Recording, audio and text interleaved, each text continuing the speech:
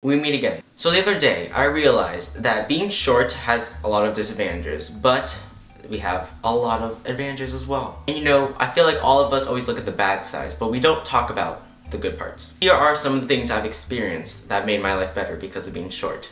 Number one, crowds. Every time you take a group picture, they will always put you in the front. Always. So they get to look at you the most, but if you're not photogenic, well, it sucks for you then. And you're watching a game, which I don't really do because I'm not sporty, usually they let you go at the front because you can see better. Number two, clothes. 90% of the time, all shops will have your size. And if they don't, you can go to the kids store. And guess what? They're cheaper. And I've done that before. I can look at my wardrobe and I can still find things that I've worn in fourth grade that still fit me to this day. And this, this is my sister's. She's 25.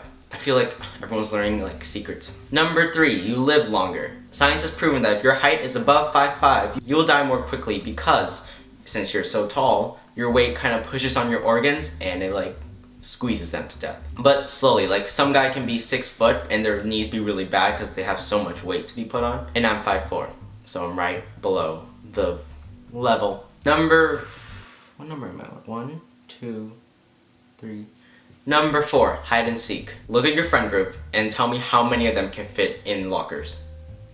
I can fit in a locker. I'm the best at hide and seek. I will always win. I can go under my bed at times. I've gone under desk. I've gone inside like safes. Oh, wait, that's like a pretty big safe. But you get my point. You will be excellent at hiding if you're short. Number five, your house. If you are short, name one time when you said, I can't fit on my bed.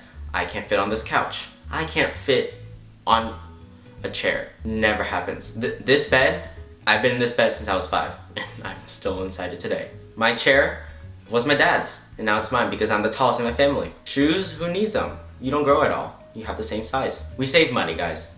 Take notes. Number six, trick-or-treating. If you're really short and you have a baby face, I can swear to you, people will think you're 10. If I really want to go trick-or-treating when I'm 18, I will but I'm probably gonna be at parties. But still, you can abuse that power. You have a right to because you're short. But if you're 50 years old, that's kind of weird, so maybe you shouldn't, okay? Number seven, seat room. If you're in a car, on a bus, on a plane, on a train, oh that rhymed, you will always have room. I can sleep on a bus. I can sleep on a bus by myself, on a train, on a plane, like anything.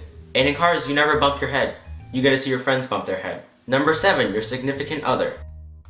Some people have preferences that they want their boyfriend or girlfriend to be taller than them, and I have that. And the good thing is, 90% of the boys are taller than me. And I remember when I was really little, I worried about being tall because like, oh, I have to be taller than the girl because that's a stereotype. Now that I'm gay, it doesn't matter. Also, short people are gonna be really good at hugging because perfect fit. You know the ones like your chin goes on their shoulder or your head is below their chin?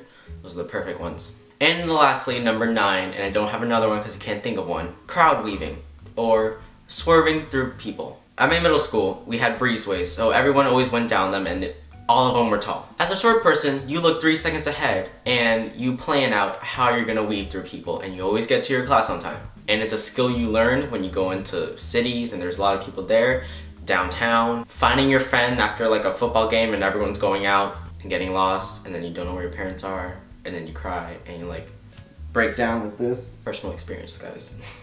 So yeah, those are a couple of the perks of being short. And yes, there's disadvantages, and that can be another video. But if you enjoyed, give this video a like, leave a comment down below if you're short, and tell me your experiences with your height. And subscribe because I post videos every Saturday, and now I do daily live streams. Daily. I love you guys, and everything is less than three, okay? Okay? Okay? Watch, I can make this like really, really bright. Oh!